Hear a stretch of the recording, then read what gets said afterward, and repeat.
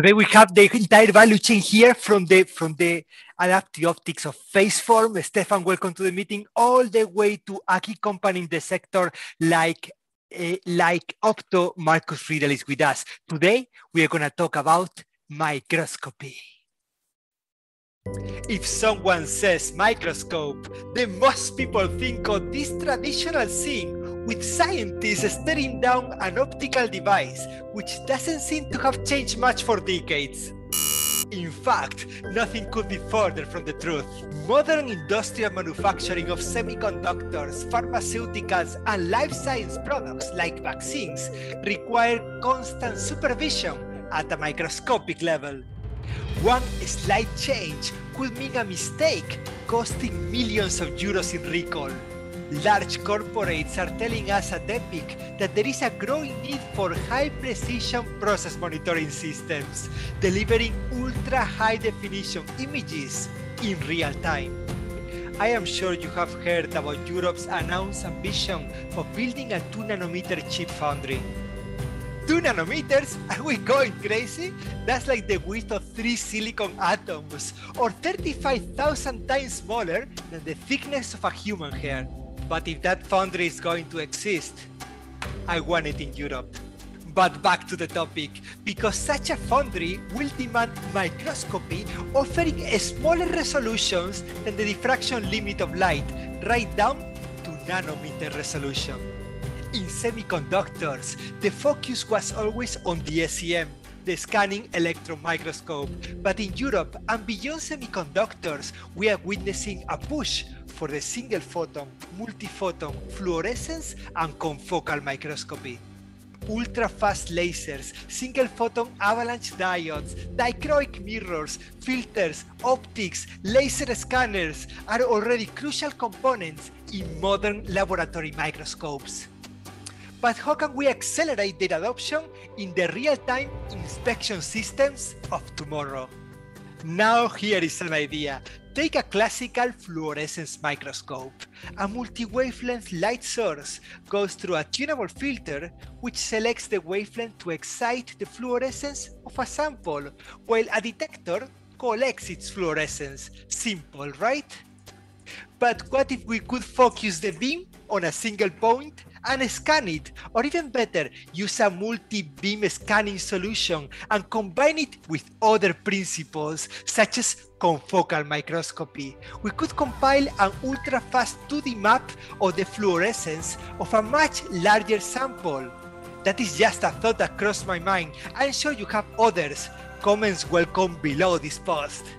On Monday, June 28th at 3 p.m., we'll pick up this ongoing discussion in microscopy so we can meet the demands for high volume, high precision solutions in the most effective way possible.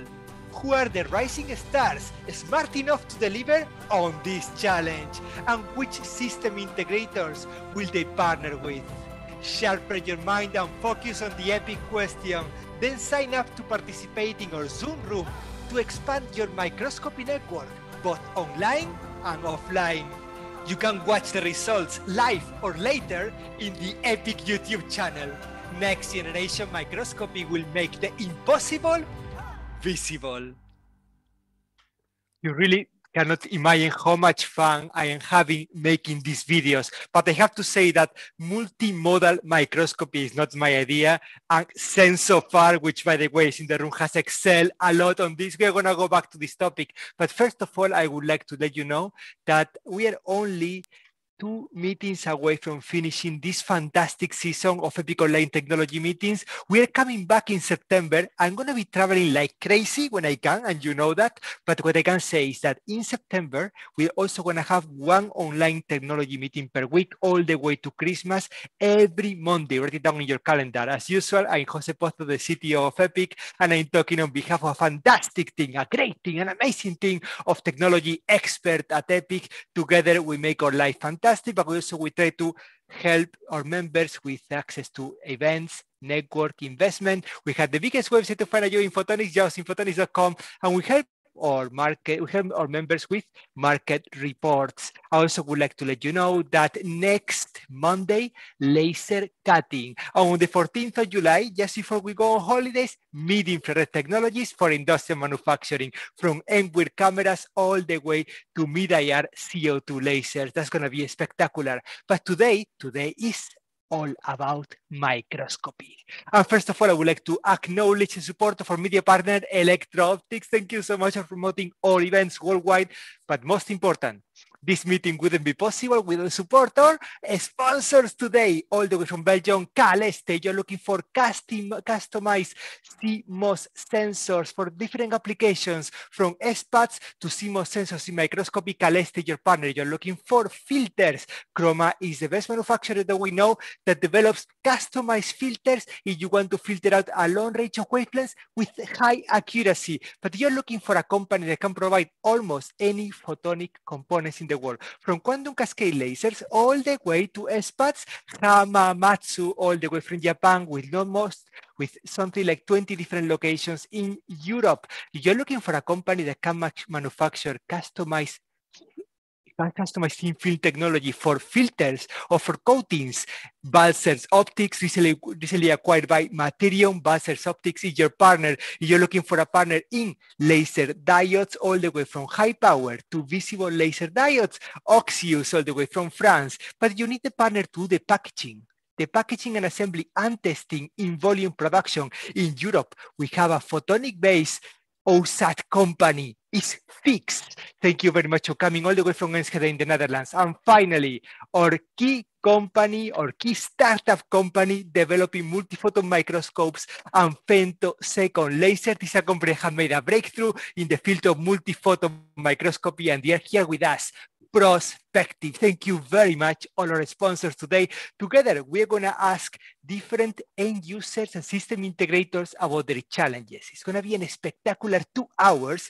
And afterwards, we go to watch football because Spain is playing afterwards. But first, these five companies are going to help us find the challenges and thanks to the work of Dr. Sanapika, we are going to go through all the different companies in the value chain and find how we can make connections, how they can work together. We have actually companies develop microscopes, develop photonic integrated circuits, develop microscopy illumination, cameras, detectors, adaptive optics, spectrometers. We have to do business, and for that we have two hours. I would like to remind everyone, look your best because you are live in YouTube.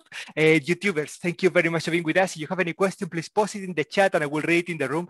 Please just remember that you want to get in touch with any of the participants today, all you have to do is send me an email, jose.pozo at epic-assoc.com, and I will be so happy to make the introduction. And this is also valid for the people here with with me, my friends in the Zoom room.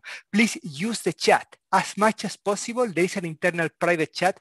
Talk to each other. These two hours are to make business. But if afterwards you didn't manage to speak to Stefan from Phaseform, send me an email and I'll make sure I make the introduction because I only all I want is for you to get to know each other.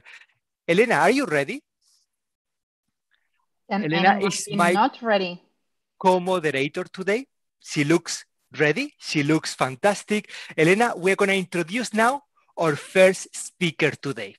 He is the CEO of one of the most breakthrough startups in the field of femtosecond and microscopy, enabling multiphoton microscopy. We're going to go to Prospective Instruments. Lukas Krainer, CEO of Prospective Instruments. Thank you very much for taking the role of opening our microscopy meeting today we are worldwide. We are really worldwide. So Lukas, the attention of everyone in the world is focused on you. Thank you, Jose. That's a great introduction. Thank you. Uh, so I, I, um, uh, I will start to share my screen. Yes, please. Says okay. Yes, let's do that here. Okay, you should be able to see it. Yes. Okay, so thanks, yeah, Jose, for the introduction and also for the warm words at the beginning. I mean, uh, yeah, you put some pressure on me, actually, from after your introduction, and uh, I put a, uh, put together a few slides on actually where our microscope can be used, um, and uh, that should just give an idea of of uh, how it can be used, how it is used currently, and how future applications probably can be explored by by visitors and and, and other other people in the room here. So um, when when we, we started in 2019, actually just uh, a few months before the lockdown, and then we came to the idea that uh, multiphoton microscopy. Uh, usually, when people who know that technology, you deal with very complex, uh, you know, bulky setups built from many uh, components on an optical table, and that has to be maintained by a PhD student typically. And um, we thought about uh, putting it in a package altogether uh, to make a really turnkey, compact uh, um, setup out of it that can be used. I mean, by let's let's call it everybody in the field at least easily, so there's no maintenance required uh, and, and, all that stuff. So the um, oh sorry, need to go to the first slide, of course. Okay, we start over again. Um, so just a few words to the background of our company. Uh, we started in 2019 and uh, our focus was on turnkey, compact, easy to use uh, multiphoton microscopes. And in order to achieve that goal, we knew from the very beginning that, that we need some kind of vertical integration, especially when it comes to the light source and uh, to the light engines, to the mechanical design, to the software. I think the putting stuff together is very important in order to get really a compact integrated system. I mean, you can get a laser, a femtosecond laser on the market uh, for a decent price uh, in the meantime, and you can get other components, but still you need to put it on an optical table. You have to, you know, you need all these mechanical mounts to steer the, to do the beam steering and all that stuff. So, so putting it all together in a package, in a very compact package was our first challenge that we had to uh, had to solve. And uh, also, I will come to that. And, and at, at, the end of the presentation, we also started to do an imaging service, an in-house imaging service, so customers can pass by, send their samples, come to visit us, and uh, check out the the equipment. Uh, so just a few words to our core competence, uh, and that's probably also the connection for other visitors on the show here on the channel that you can contact me anytime if you see a complementary uh, know-how from us uh, to your need actually. So please go ahead and then write me an email. Uh, so of course, the optomechanical uh, instrument design is a core competence of us. Of course, we develop our own light sources. So it starts from the femtosecond laser, the illumination sources. Uh, nowadays, they are mainly LED based, of course. Uh, we do the embedded hardware and software control of the of the microscope, and uh, that allows us to bring an OEM solution for further integrators on the market, where you can actually integrate femtosecond lasers, the scanning, the Galvo scanners, the the uh, focusing, and all that stuff in an OEM package, which actually then um, uh, could go into another machine like uh, from other integrators. Uh, we, we of course we do high resolution microscopy and uh, by doing all the multimodality it, allow, it allows us to do label free imaging uh, for example metabolic visualization cell microenvironment. Um, obviously deep learning is um, a very hot topic at the moment in, in microscopy probably probably the most transformative technology which uh, currently arises since the since the invention of, of, of the objective, maybe uh, probably 200 years ago. Uh, and we also uh, ad adapt our platform to implement advanced deep learning algorithms for, for image analysis and, and, and, and later on staining. Uh, and one focus of us is uh, to bring a medical device on the market, which is intended for, for clinical applications. I will have a picture of that at the end, but I'm not going to tell you the, all the details of it, but uh, you will see it at least. Okay, so our, our first product is the MPX series, uh, the multiphoton microscopes. It's a compact all-in-one uh, integrated system. It combines uh, different modalities uh, into a one compact package. It, it, consists of controller, it has a scan head, there's an umbilical in between, and in the scan head, actually, all the main components are tightly integrated. Uh, so we miniaturize, for example, the femtosecond laser, and we integrate it right into the scan head, which gives the advantage of having a very flexible setup. You can freely move the scan head. You, you can do mosaic stitching, you can move millimeters, centimeters, uh, you can do a lot of uh, things. You can actually turn it upside down. So you, you go from an upright uh, uh, in the imaging to an inverted imaging. You will see a few pictures after that, how we're going to do that. Uh, you can roll it in. It's very small, so you can roll it in into any lab. uh, you can roll it in if you do live animal imaging you you bring the microscope to the animal and not the animal to the microscope as it typically was and also the the demo aspect of doing demos in front of customers becomes uh, the workflow becomes straightforward and very easy so you don't have to visit like an imaging center from a very renowned company but you can actually just uh, ask for a demo get the demo in your in your uh, lab and then um, uh, try it out. Sorry, there's an ambulance in outside. um, anyway, so uh, that's how it looks like. Uh, so you can see here the controller, uh, this can head, the umbilical on the left side. The controller easily fits underneath the table. And uh, the scan head and the umbilical, you can place them on the table actually. Uh, you install it in five minutes, so it takes five to 10 minutes to actually install the system on a table to bring it up and running. The PC, the control software, everything is integrated. So you just switch it on and, and uh, it works.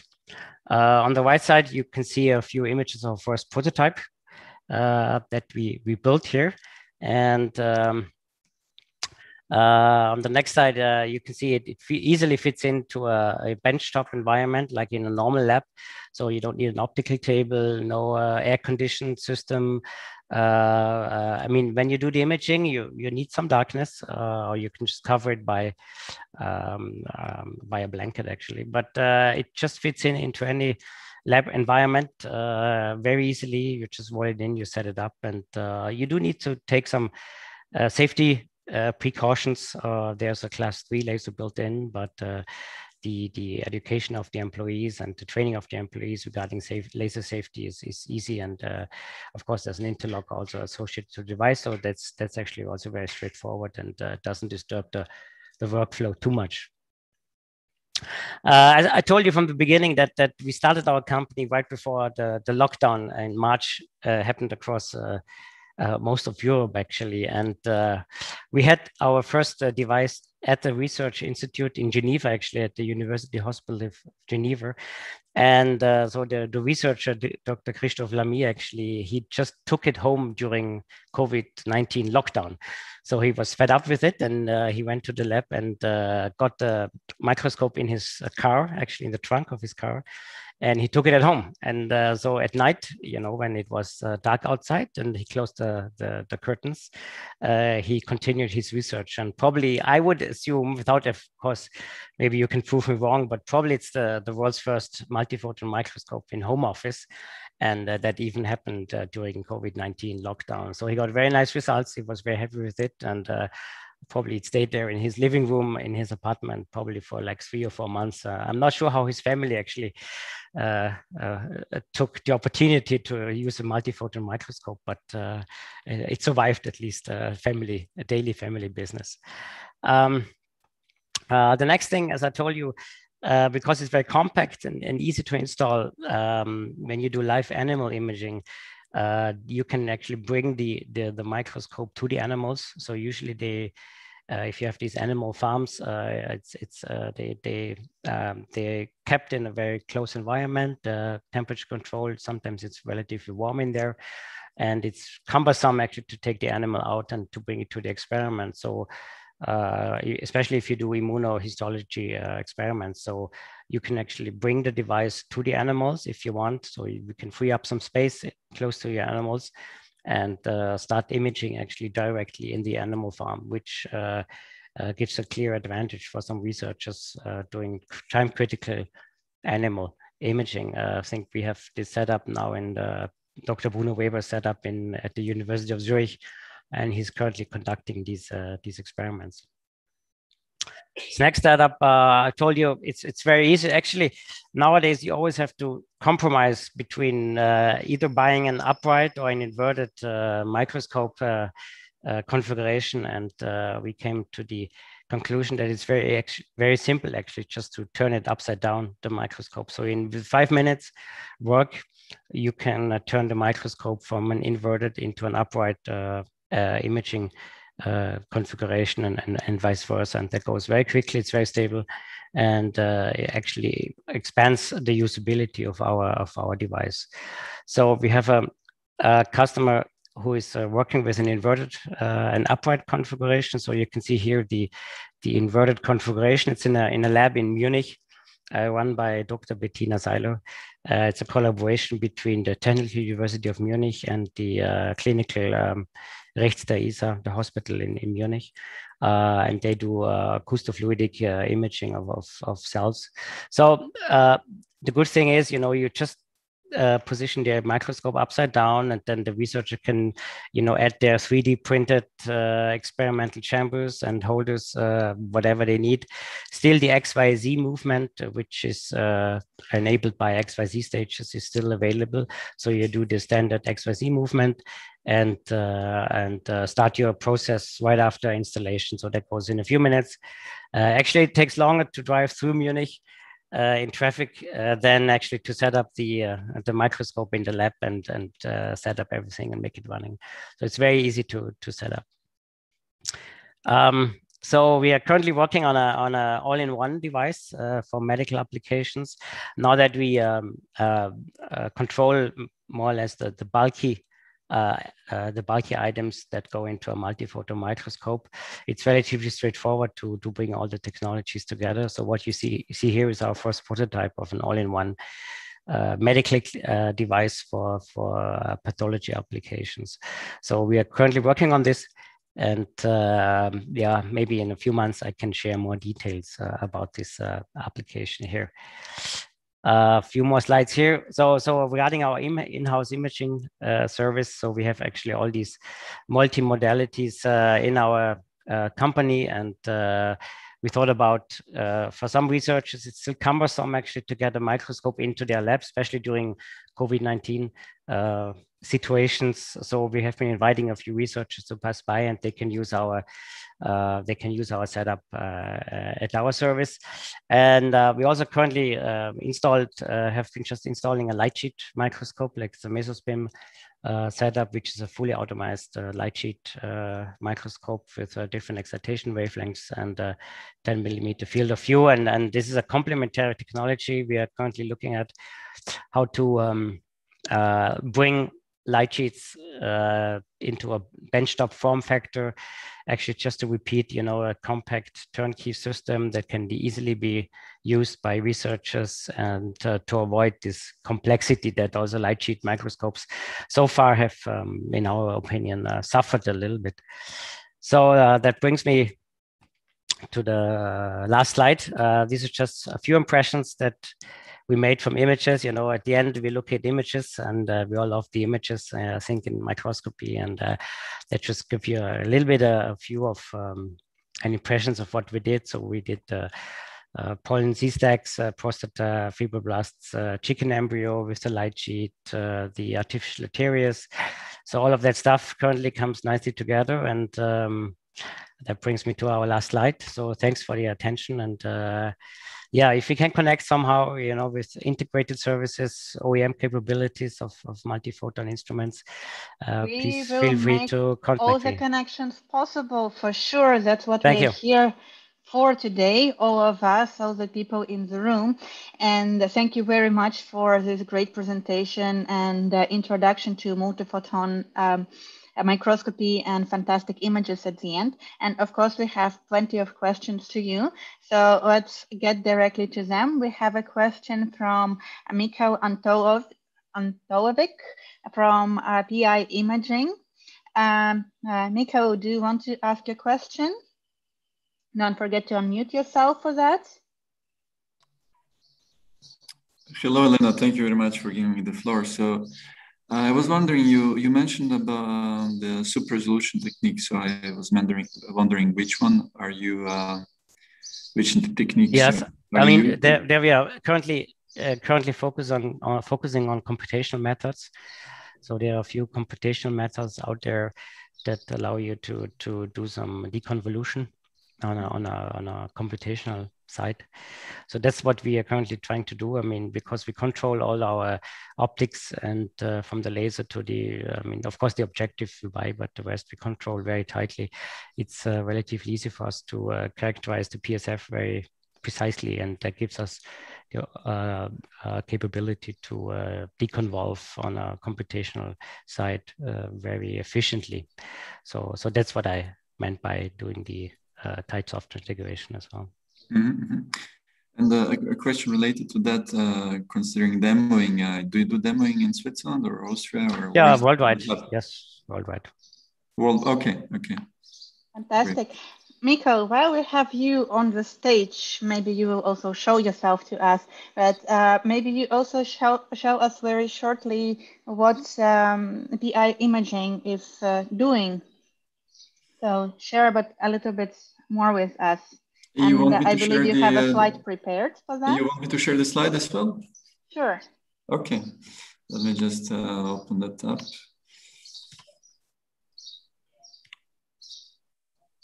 a green button at the bottom of your screen and it's coming up. Yes. Fantastic. So at Pi Imaging, we are uh, developing SPAD arrays, and on the bottom you can see the uh, uh, SPAD 23, uh, our, our, product with integrated time tagging. So I was wondering, when I asked the question uh, to, to you, and uh, I thought maybe you do some super resolution confocal techniques. One of them is, of course, uh, image uh, scanning microscopy, which enables you to you know, get the best out of the uh, virtual pinhole that is created by the by the pixels. Um, so you can see here on the right hand right hand side some specs, um, very good sensitivity, very low jitter. So if you're looking for um, uh, time resolved applications like uh, FLIM, FCS, uh, luminescence, um, and you want to have also a lot of signal, I think our detector are a good choice. Um, and I believe also Giuseppe is going to talk about um, a very similar topics. He has done uh, great work uh, in that field as well. So I look forward to also hearing his presentation. So if anyone is interested in SPAD arrays, and uh, please uh, get in touch with me. Um, we would also be glad to uh, collaborate with prospective Instruments, potentially also having this instead of the PMTs. That looks very interesting. Actually, we, we are looking into that. Yeah, in, into the FLIM, of course, adding a FLIM as a FLIM is a very powerful modality. So definitely, that that, that looks very interesting. Yeah. Okay. Thank yeah. You. Thank, thanks. Thank to you, and uh, yeah, let's get in touch. Mm-hmm. Thanks, fantastic. So we're already uh, starting some collaborations here, and in the chat there is even a question about the SPAD arrays. So that uh, means that uh, there is another conversation that needs to happen. But uh, coming back to to Lukas, there are so many questions to you. So I would like to go to another Lucas we have in the room from Light Conversion. So would you like to ask your own question? Um, sure. So um, excellent, excellent device. Uh, very exciting to see that you have the laser integrated inside the scan head. That's a, that's a really uh, necessary feature. So I was wondering, uh, what are the excitation, what's the excitation wavelength range that you can achieve with this integrated source? Mm-hmm. So at the moment it's it's 1040, but we are currently working on a tunable version, which brings us from 750 up to 980, and then from uh, 1100 to 1300 nanometers. So we definitely, uh, I think that was one of the first learnings that that uh, tunability is a key requirement, and uh, yeah, well, we had I, to learn I, it the hard way, but uh, it's definitely a requirement. So we need tunable lasers. Okay, that's perfect. I question. could couldn't agree more. Yeah, that's that's exactly what I would sure. say. But okay, so 10, 1040 at, at this at the moment. Yes. Okay, perfect. Thank you. We have another laser related, obviously laser related question from William from Irisiome. William, would you like to ask a question yourself?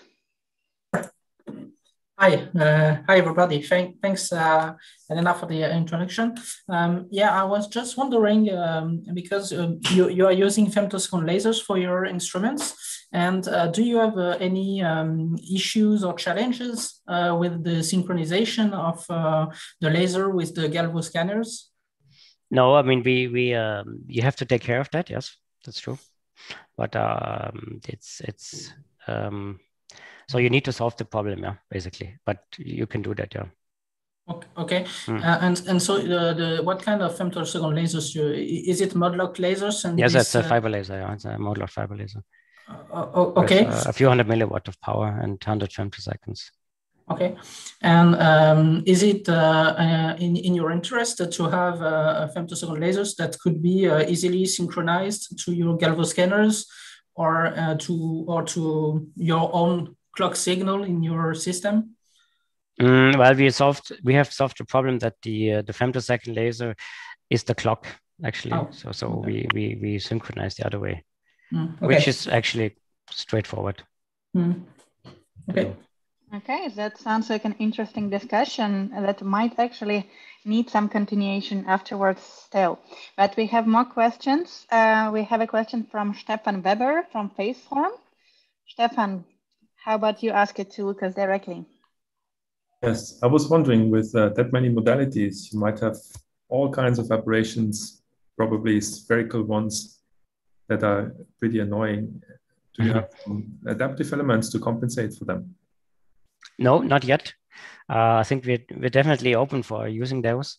Uh, we see a need for deep imaging. So if you go above uh, three, 400 micron, 500 micron in depth, um, in, in, for example, live animal imaging, the, the yeah, thing, signals get a little bit dim. So uh, I could very well imagine there's a need for uh, corrections, aberration corrections, yeah, adaptive corrections.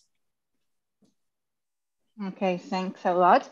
Moving on, we have a couple of questions from Felipe from Horiba Scientific. Felipe, what's on your mind?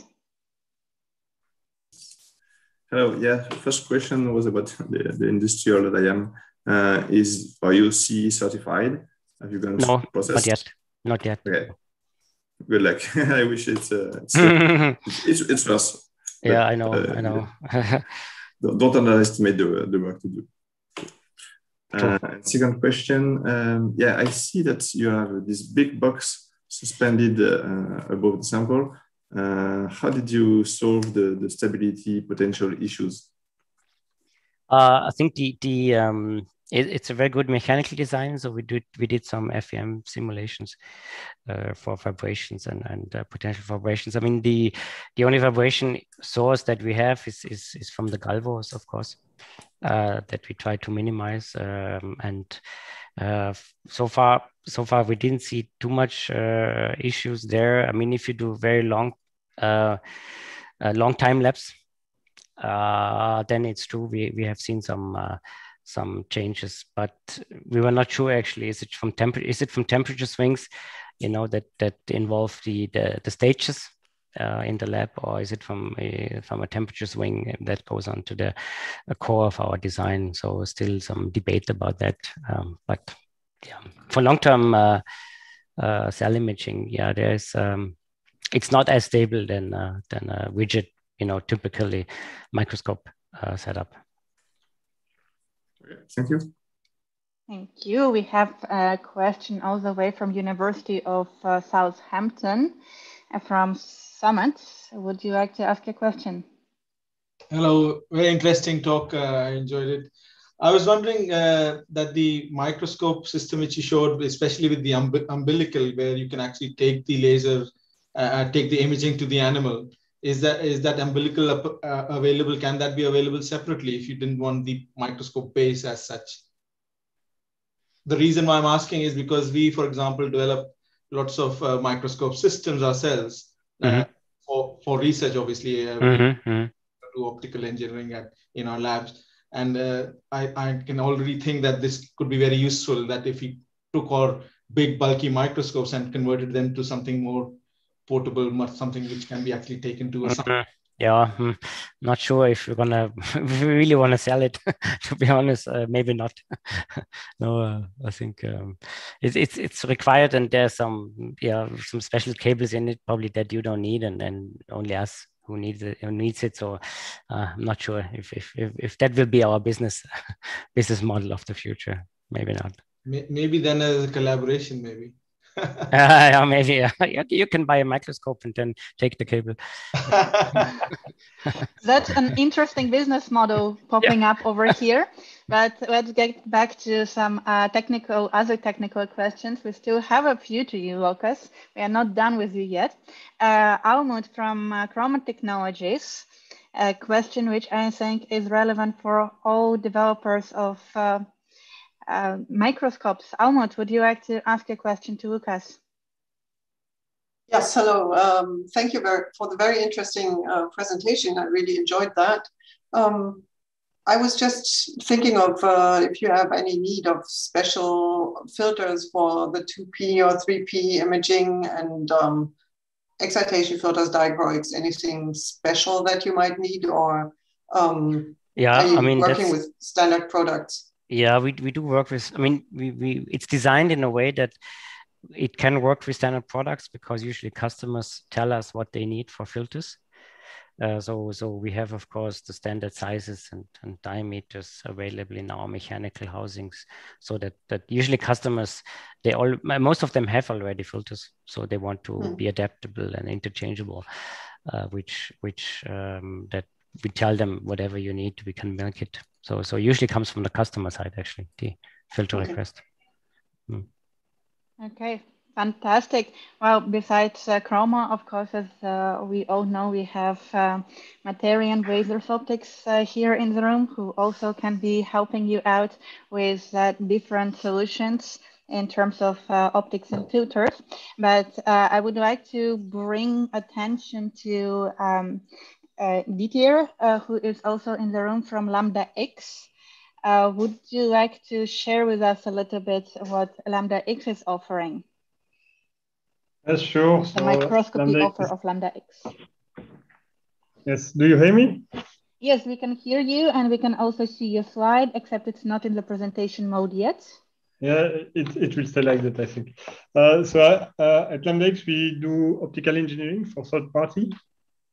And in the past years, we have built um, several microscopes for uh, different customers.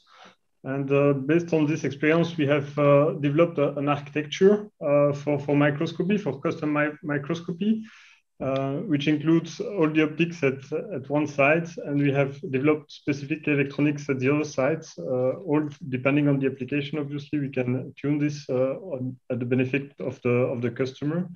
And we have done this for many applications, uh, from cell transfection uh, to introduce materials in the cells, for uh, fluorescence activated droplet sorting, those two for, for spin-off of university, for blood analysis with uh, our partner Ovizio, um, or for uh, cell monitoring. And in this case, we, we are also going to production, so we produce the system for Ovizio.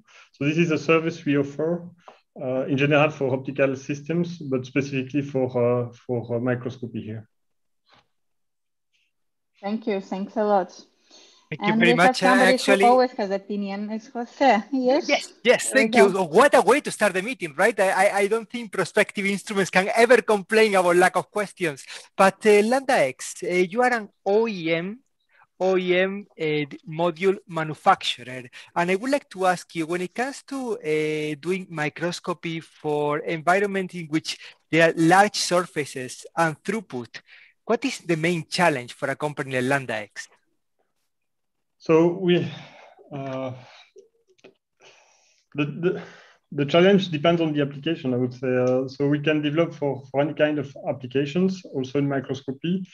Um, we have recently been requested to develop on the same basis um, an optical module for, uh, for very large surfaces for uh, uh, disease detection that is currently acute, I would say. So this is something we are doing now. Currently, we are uh, doing the first three prototypes uh, based on the same architecture where we have an enlarged field of view. For this, we do we just do custom designs of, of the lenses uh, when it is ne needed. Because today I brought two companies who I think they should talk to you after the meeting and you're going to meet them. We brought from, from Spain, we brought Sensofar and from France, we brought, we brought Unity SC. We're going to give the floor now to Unity SC. I want to really understand what it is to do microscopy when, it, when the challenge is throughput and the challenge is the large surface. And this is a success story that we have in Europe. Tristan Combier, thank you very much for joining our microscopy meeting today. It is great to have you here. The floor and the attention of everyone in this global meeting goes to you, Tristan, goes to Unity SC. Tristan, you may be muted because yes. I can't hear you. Okay. Yes. Can you hear me? Yeah. Thank you very much, Jose. Um, so uh, thank you for offering, offering me this uh, opportunity to, to give this, uh, this talk. I'm going to share my screen.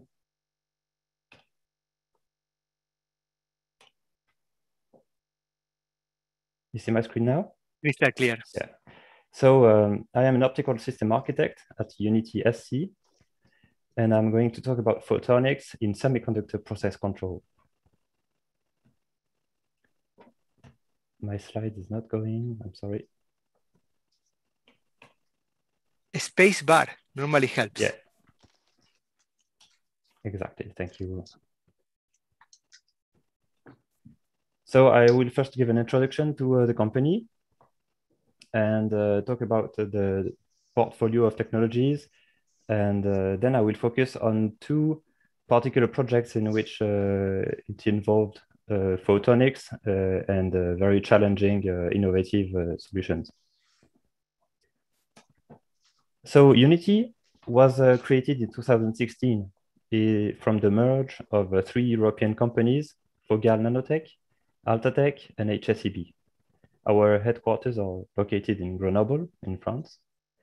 And our mission is to build solutions in metrology and inspection for the semiconductor industry. Our main applications range from advanced packaging and wafer level packaging, CMP, power device, MEMS, heads, and substrate manufacturing. We have a a broad range of technologies in our portfolio. So uh, in the upper part, I uh, show what is called metrology solutions, which are mainly used for uh, sampling the, the wafers, measuring uh, a few number of locations and having a very uh, sharp, accurate metrological uh, measurement. The other frame uh, is for high throughput full wafer defect detection, which requires high speed uh, and high sensitivity as well. So we use different kinds of interferometry, such as time domain, OCT in the infrared, uh, spectral interferometry and reflectometry in the visible, confocal chromatic, white light full field interferometry to, to have a, a full, uh, an image of a full area in one shot. And for the high throughput uh, inspection detection, we use phase shift deflectometry, dark field inspection, 2D or 3D line scan inspection, and scanning, scanning Doppler, which is uh, one of the, the topics I will focus on here in this presentation along with the 3D line scan. Basically, we have photonics in pretty much everywhere in our uh, technologies, but I think these last two are the ones with the, the most innovative and challenging photonics. So first, I will start with the confocal chromatic. The principles of confocal chromatic is as shown here. So it consists of a white light source here, uh, a pinhole for collection here, a beam splitter, and an objective lens with a chromatic uh, aberration. So the, the purpose of this objective is to have a longitudinal chromatism in such a way that each wavelength of the light source is focused at a different height. So the light reflected by the sample, by the object surface here, propagates back to the filtering pinhole.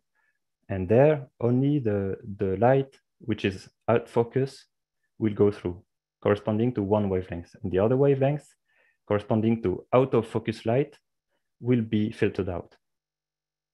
A spectrometer analyzes the transmitted, transmitted light and algorithms are here to detect the peak position. And from this wavelengths, we can relate back to the height of the of the location of the on the object surface. So such a system gives one measurement at a time.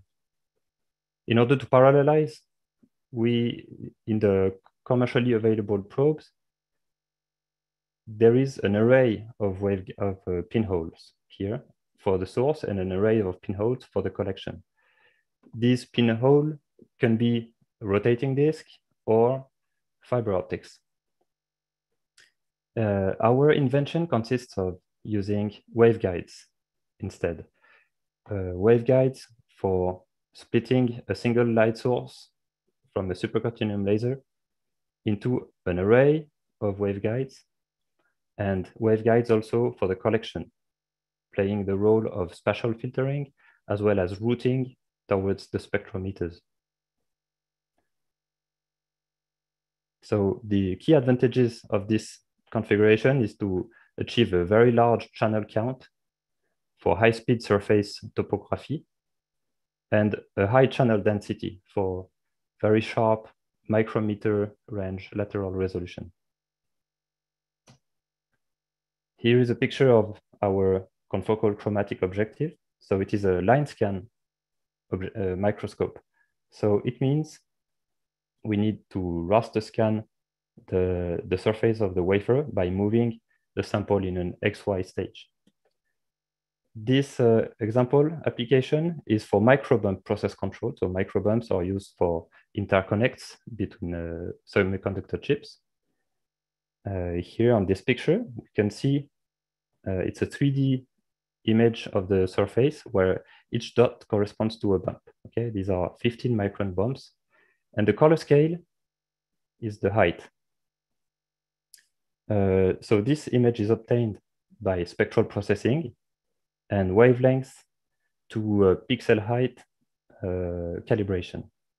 Then from this image, we apply some algorithms for segmentation and bump, bump height measurement in order to produce this map. This is a map of the representing in a color scale the height of each individual bump here. And this is what is meaningful for our customers. Uh, here's an, an, insight into how we achieved that. So we've we've been working with Teem Photonics, who will give a talk uh, right after me. Uh, they produced uh, optical uh, waveguides with a very high count, 512 channels, very uh, low loss, high homogeneity in, in over a very broad band visible range, and capable of handling the high power coming from the supercontinuum light source. They have worked on the optimization of these waveguides in order to match with the, uh, the optics, uh, the chromatic objective that, that has a particular point spread function. And in this process, they achieved to go from a very disturbed peak that we see in this kind of spectrum here uh, towards a much nicer peak shape, which is suitable for very high resolution uh, vertically. And they have also worked on the optomechanical integration of these uh, components. So we achieved a very good working point with this technology. And here we are in a, this meeting in order to talk about what could be the future of photonics to help to help us making better microscopes. So I would say that the future challenges concern scalability and versatility. So scalability, we are already on a good uh, road with the waveguides, but uh, next step would be to integrate the spectrometer on chips as well, to integrate sources on chip, and to stack multiple chips for versatility, I meant using this uh, confocality not only for chromatic uh, confocal, but also for fluorescence imaging or many other applications could be possible. So for this, we would need to extend the spectral bandwidth. Finally, I will talk about this uh, technology called dark field Doppler, uh, which is a patented technology from Unity. So usually in dark field inspection, laser light source strikes the surface of the object and the scattered light is collected by a detector. In this way, we can detect particles. But in a transparent substrate, we would not be able to distinguish between front side particles and backside particles. So our technology allows us to separate front side and backside particles by actually crossing two beams right on the front surface. And here we have a volume of fringes, interference fringes. In such a way, when the wafer moves, uh, a particle that will go through these fringes will produce a uh, frequency signature that can, we can be detected and that we can separate from any backside particle that will produce intensity, but no frequency signature. It allows, for example, to separate the, the front surface of a glass wafer uh, to the interface uh, with the silicon uh, carrier. And this is an image uh, from the Fraunhofer Institute of ENAS, showing here on the left side the front surface with some particular defects, and here the back face, I mean the interface between glass and silicon, where we can see all the voids at the interface. And this is a very uh, useful information for our customer.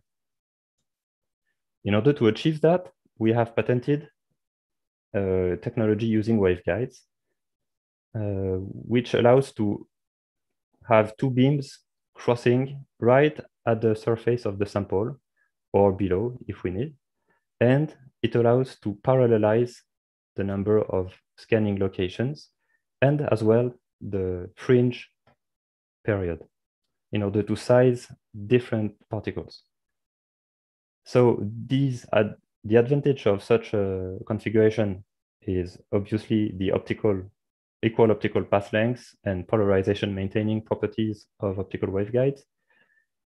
Uh, and as well, the alignment free, which is very useful for manufacturing and long-term stability. And such a technology allows for scalability. We have solved some challenges. Uh, for example, the power handling, especially in the blue or UV, and insertion losses, and as well the interface with the optics and the beam shaping, because waveguides, you're usually coming from the telecom industry, they don't need much uh, interface with uh, free space optics. And in this sense, this is quite new. Uh, also, the stray light suppression was one of the, the, the challenges we, we needed to solve. Finally, I, I wanted here to summarize the, the general points that we, we are interested in in order to go further in, in solving uh, next challenges.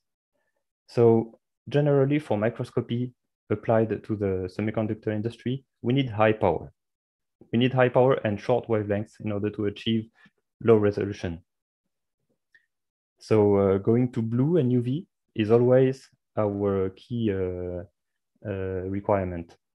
Using high coherence light source, but also low coherence light sources, using fibers for high power short wavelengths, especially you know encapping the fiber tapes, controlling the optical path length for interferometry, Bro using waveguides for broadband uh, microscopy uh, in the visible range is uh, one of the key aspects we're looking for. Uh, having spectrally flat splitters. When I mean spectrally flat, I mean avoiding any kind of ripple that uh, would make a parasitic uh, interference. And generally, we need to interface our photonic devices, our waveguides with free space optics. This requires micro machining, micro alignment, uh, which mean which must be scalable, industrial, reliable, and cost effective as well in order to achieve the scalability it is a fantastic list of challenges, and we have a big room of people who are here to help you out to solve them. Before getting right to, uh, to, to, to, your collaborator, existing collaborator, uh, Teams Photonic, I would like to first give the floor to Alvaro Cravena from EMBL. He has a very interesting question to you. So Alvaro, would you like to ask your question? Sure, thanks, Elena. Um, uh, Tristan, thank you for the talk. Um, have you thought of any possible biological applications of the system? Yeah, so usually uh, biological applications require uh, transmission. Uh, not, it's not always the case. Uh, whereas we focus on uh, inspection uh, of semiconductors, so we always or almost always use reflect, reflect reflection. Uh, this is one of the, the differentiator. And uh, but apart from that, you are right that uh, we can extend this kind of technology to several biological applications. Fantastic. Maybe that's a room where you two can cooperate and establish this new biological application of your technology. How about that? But let's do that in follow up, not directly in this room. But as promised now, let's go to Andrin from Teem Photonics, uh, the cooperation uh, which is already happening with Unity SC. Yes, well, thanks for, uh, for giving me a, a quick talk. Let me just share my slide. All right, you should see it full screen now. Yes, fantastic. Okay, great. So uh, yes, at Teem we make two, uh, two, two types of products. Uh, one are um, air-cooled sub-nanosecond lasers. So we're at the microscopy meeting, so I think it's worth mentioning. But I will rather focus on integrated optics after what Tristan has shown. So uh, these waveguides he's shown, they're made by the ion exchange process in our uh, internal uh, fab line, I would say. And of course, they have the advantage of um, transparency all over the, the, the, bands of interest, I believe, for microscopy. So from the visible, from about 400 nanometers. So the UV, it's a bit more tricky, but uh, up to, uh, to the edge of the, of the shortwave infrared and the mid-infrared. Um, and I think here we quickly see the, the process flow at the bottom. So it's, uh, it's worth mentioning as well that we can because this process flow is streamlined and somehow very like much simpler than, than standard PLC or maybe SIN, for instance, uh, we are able to make very large chips uh, at, in a cost-effective way. So that's uh, that's exactly what Tristan has underlined. So uh, sorry, I just had a, like another slide that, that shows again the, the module we've uh, well, we've developed for Unity. this is a, this is another view, and actually gave us some ideas uh, outside of uh, confocal chromatics. We believed we could also address Raman or OCT. And because um, our chips identify interface pretty well with standard uh, microscope, uh, microscope optics, uh, essentially uh, they can be quite versatile. And because there can be NA issues, you know, with, conf with confocal that may not exist in Raman or fluorescence imaging, there probably is a lot of room for, uh, for technical developments. It's also worth mentioning that uh, our uh, waveguides, they allow for integrated spectrometers. Today, this is a technology that is exploited by Resolution Spectra Systems, also, also in Grenoble, even though they act under the Merck Life Science name now. But yeah, after, after Tristan's talk, I think it's, uh, it's once again worth mentioning. So yeah, in a sense, we, we push a technology, but we don't have like that much applicative knowledge. So we are always eager to, you know, engage conversation. Thank you very much for this. And now let's have a, a, a, quick round of questions. There's a lot of room for cooperation here. We're going to start with a company in Belgium that actually develops these custom CMOS sensors. And we have questions about the numerical aperture of the waveguide. Jan Vermeiren, welcome to the meeting. What's on your mind? Yeah, I was looking to, um, let's say, the schematic diagram that uh, Tristan has shown, and where he goes from, let's say, photonic integrated circuit to the sample and back. Uh, but uh, let's say my question was how efficient is in fact that light coupling, or do you take special measures in order to uh, uh um, ameliorate the light coupling between the the sample and and the photonic circuit? Thank you for this question. Um, so uh, we had to work uh, on optimizing the waveguide geometry together with the uh, PSF of the optics in order to to match uh, to achieve the best coupling efficiency for the the back reflected light. In order to achieve actually not only best coupling efficiency but uh, also the modal propagation in the waveguide uh, should not disturb the, the quality of the signal which is collected. So there is a trade-off between signal quality and signal quantity. But we have found a very good trade-off. Thank you very much for this. And we continue. We have one of the giants in Europe in the field of microscopy, imaging, and inspection, Horiba Scientific. Philip de Betignice, what's on your mind? Philip? Um, yeah, yeah. Sorry. Um, yeah, just uh, being interesting in the in the speed of uh, of the measurement. Uh, yes, how fast can you do, and can you be triggered outside? So um, maybe to be coupled to anything else in uh, your experiment. Yeah, exactly. So um, it is triggered definitely in order to uh, be synchronized with the motion of the XY table. Uh, we achieve speeds of it depends on the you, you can always uh, reduce the, the range the measuring range. But let's say with full measuring range we achieve a speed of 10 kilohertz with 512 channels in parallel which means 5 millions of points per second. Is that is that enough uh, for the applications, or is that still a challenge? Are you looking that, for that, collaborations that is, that is impressive faster? for me. So yeah, uh, so how does it translate into uh, numbers for the semiconductor industry? If we scan uh, a wafer with, uh, say, five micron resolution, we achieve uh, we we we go higher than the the 20 wafers per hour limit. Okay, this is like the minimum for inspection, say. So 20 wafer, wafers, I mean, big wafers, 30, 300 millimeters. We can scan with five micron resolution uh, in inspection conditions. Then in order to go to smaller details, smaller bumps, we need to, uh, to scan slower. Uh, and for this reason, uh, going to scalability with several chips or higher number of waveguides or higher intensity of the light source. This is key to, uh, to uh, multiply by two, four, eight the speed of this uh, microscope. I'm going to come back to you on this particular parameter after the presentation from Istituto Italiano. But before that, I go from giant to giant, from Horiba to Hamamatsu. Sebastian Bier, what's on your mind? Yes, I had a short question that was partially probably already answered. Uh, what is the spectral range of the confocal? So you've shown a slide with the waveguides operating in the red near infrared. Mm -hmm. I guess those are a couple of trade-offs regarding performance of the systems and performance of the waveguides. Is exactly. Yeah. Correct. Correct.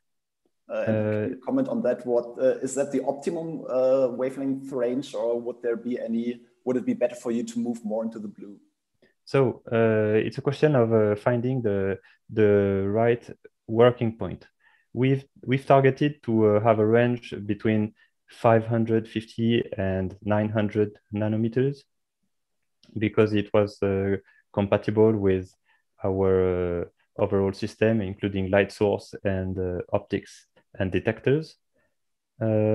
we can move this working point towards blue Uh, but uh, having uh, extremely broad range uh, visible light from let's say 400 uh, up to 900 is not achieved yet, but this is one of the key that we are we are pursuing.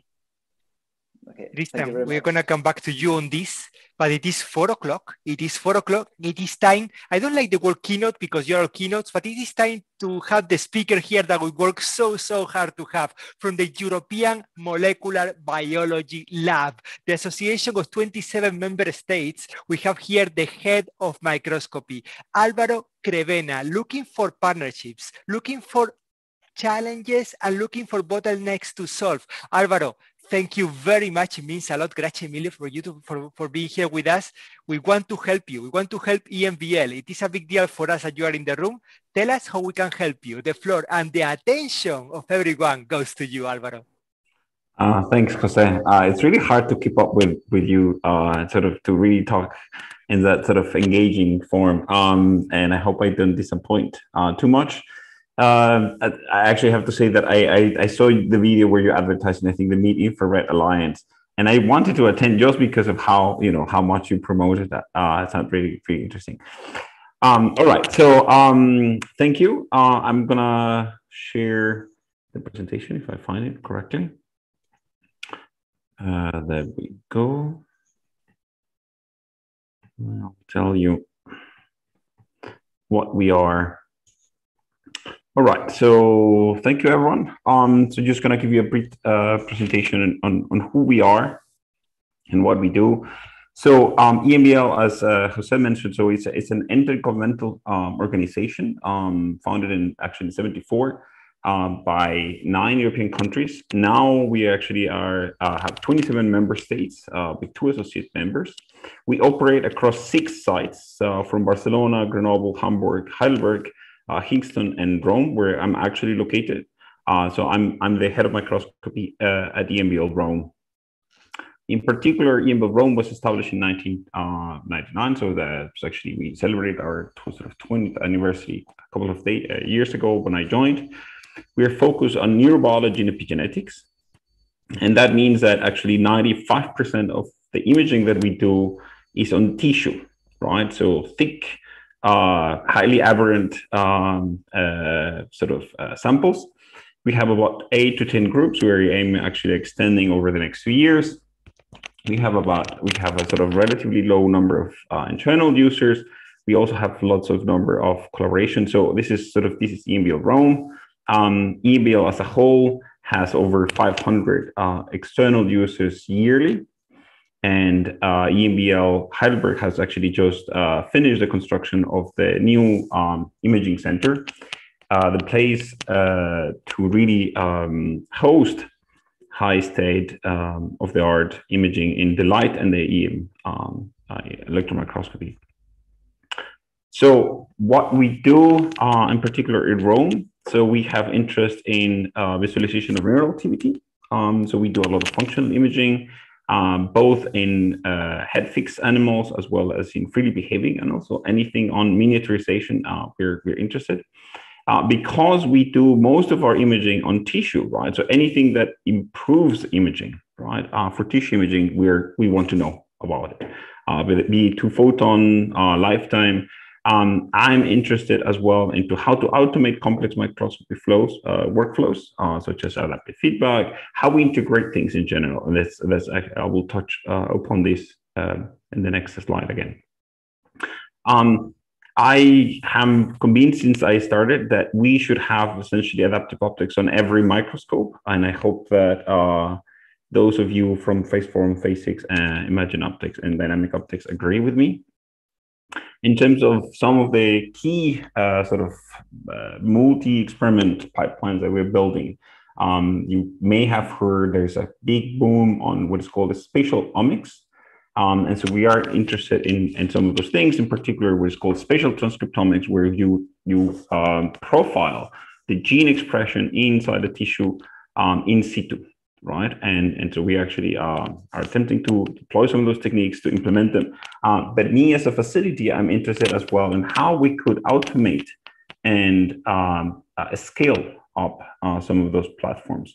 Um, this is because the, the technology is very low throughput so you have to put a sample on the microscope and that will go for you know a couple of days um, and so maybe there are ways to parallelize things and to increase throughput and these has a massively big potential market for diagnostics um, so if anyone's interested i will be keen on on, on talking on, on that um, uh, beyond that so really also uh, spatial proteomic profiling single molecule localizations um, and and so this is this is essentially where problems lie. Uh, what I can what can I offer? And uh, I actually wanted to make the point what the facility work my, my, facility can do for others, but um, as well as, sort of a general uh, point of what a facility can do for for uh, for companies, right? So we are um, let's say facilities in general, we are the testing ground for real world deployment, right? So um, I've I've heard, you know, I've, I've talked to some companies that say, well, we have a great chip, we have a great lens, um, that's fantastic. Uh, but I, I, I, won't implement a single lens on a, an existing system. So we really have to sort of work together to try to integrate it into, uh, uh, let's say, existing or uh, newer systems? Um, how, how do we actually uh, bring it to the large number of users that will benefit from, from those advances? Um, we can offer obviously testing over a large variety of samples, which means we can assist uh, you for production of application notes. Um, and more importantly for you, uh, I guess, is we we can provide you feedback, right? Um, in terms of how easy it is to use the technique, uh, whether something in terms of the technical specification needs to be changed, how we integrate it, right? And so uh, going back to what I what I said before, um, so some you know some cheap, some lenses, some individual lasers, they might have a control software that's great, but if I cannot integrate it into an existing system, there's no way I'm going to use it, and there's no way that the, the you know the large um, users, right? And so if if if I sort of re-say that, um, so EMBL has about uh, 500 external users per year, right? And so that's that's that's your that's your market, right? If so, if someone um, sort of comes and says, "Oh, you know, I actually uh, got to use that laser, that lens, um, and that works fantastic," then they're going to push for that technology to be adopted in their own places. Uh, so integration is a, is a key thing and and you know we are we are here to really sort of provide that testing ground um, for uh, for novel solutions. And I think I was I was in time, and with that, I will like to take any questions. The first thing is that I am eternally grateful for you to come to this meeting and looking for partnerships. This is what makes my life special. We have a lot of partnerships here to explore. There is a passion that you and me share which is wavefront sensors and adaptive optics. I want to have a, a, little bit of a round to see how we can start something together on this field. I have some of the key companies in Europe in the room with you today. Uh, actually, one of them is called Phasics, and I think I believe that we have Yulu with us today. You, are you with us? Yeah, yeah. Uh, thank you. So we are looking for partnerships on adaptive optics. Uh, please tell us what you do, and then maybe we can start some kind of cooperation here. Okay, that's great. I will try to share my screen. So uh, actually, uh, my company Phasics is uh, working on the um, optical metrology solutions, uh, more precisely in uh, microscopy. Uh, we work on the plug and play quantitative phase imaging system. So based on our patented technology, which is called quadriwave uh, lateral shearing uh, interferometry. Uh, so we, what we do, we modify uh, existing camera by adding uh, diffractive grating in front of the sensor. And after that, uh, we plug this camera on, on, on a standard microscope. then the, the beam under test will be generate the interference patterns, and then we can calculate the phase and got the phase image through this, this through this camera. Uh, so actually, uh, we are working on different applications in microscopy. Uh, for the biologist, uh, we can get the uh, contra contrast enhanced image and the label-free image by using this kind of camera. And also for the materials research, we can get the measures refractive index variation. it's very useful for the waveguides and meta surface characterizations. Uh, so here are the different uh, products we have. So you can uh, have a three different kind of products. So with a compact SID4 HR uh, or a high performance uh, SID4 SA8, which is based on a S, SCMOS camera. And more than that, you can have some customized optical system called SID4 elements that you can combine with your own camera, uh, no matter it's uh, EMCCD or high-speed cameras, uh, to transform your, your own camera to a quantitative phase images. So that's so will be all for well, we address the short introduction. And uh, yeah, if you anyone uh, is interested by this kind of a technique and we are all interested you. That's why yeah. we are here. Uh, I want to address the quadri-wave lateral shear, uh, shearing interferometry, Alvaro, after we go to another one slide that you want, I want you to see, because I'm very interested about this. We have Phaseform. We have a phase mm-hmm. form in the room. Stefan Weber. Stefan, good mm-hmm. afternoon. Hello. Um, yes. I'm, so I'm this is the best time for you to speak. We just had, had a company, uh, EMBL, looking for partnerships in adaptive optics. How can you help? Yes, it's actually uh, great to hear because we, we're trying to, I wouldn't say reinvent the wheel, but go a, a quite new and different way of performing adaptive optics, which is uh, different from the, the mirrors, you know, that give you all kind of, um, let's say, uh, uh system um, complexities in, integrating in that into microscopy. And we have something that is lens-like, but is still high resolution that we call a deformable phase plate you have uh, electrodes in line and they deform a membrane. And with that, you can change the, the optical path difference or, or, the phase. So we already tried that um, in, in microscopy and it, it shows uh, great promise. And uh, will actually a, a spin-off from the University of Freiburg. And we're going to commercialize this in the coming months. And we're very happy to receive any uh, interest that um, wants to actually integrate that into their uh, microscopy systems. Thank you very much, uh, Stefan. I'm going back to Alvaro. Alvaro, when you talk about the use of adaptive optics, you were always talking about large area sensing. Uh, what, what kind of area are you targeting? And also, did you spot some kind of room for cooperation with the two companies who just told you what they do? Uh, absolutely. So, uh, do I spot a room for cooperation? Absolutely. Um, so, uh, I have to say that sort of my background in, in say, the theoretical background in adaptive optics is relatively uh, new. Um, and uh, there was a, a, adaptive optics summer school organized uh, a couple of weeks ago by Martin Booth. Um, and it, it, was actually quite interesting. Um, so I've, I've been in contact with, with a couple of companies um, the, at the end of the day, the point is, let's say for uh, let's say for a spinning disk confocal, is that there is no there is no easy solution, right? So if we can, if, if I can help you make that, um, I would be very interested. Um, there is no there is no way at this very moment that I can obtain sort of the perfect stack, right? So we we've all talked about you know confocal scanning or spinning disk. Um, that's more or less what we do for sectioning um, uh, with the uh, exception of when you work with uh, Lightsheet. Um, but you know, if you if you just want to take uh, your your standard scanning confocal and you want to get the perfect 3D uh, stack, right, with every plane has uh, a sort of um, corrected um, aberrations um, as you go over, let's say, 50 or 100 microns of thick tissue, um, there is no such a thing. And I would love to see that, right? And every user in my facility would love to see that. Um, I, you know yeah. what I love to see? More more femtosecond laser companies of EPIC doing research with you. So I'm gonna I'm gonna move now from adaptive optics to femtosecond lasers because you talk a lot about two photon. You talk a lot, you talk a little bit about three photon. I want you to talk a little bit more about that. But before that, we have a company from Poland and one from Lithuania who I think there is some clear room for cooperation here with you.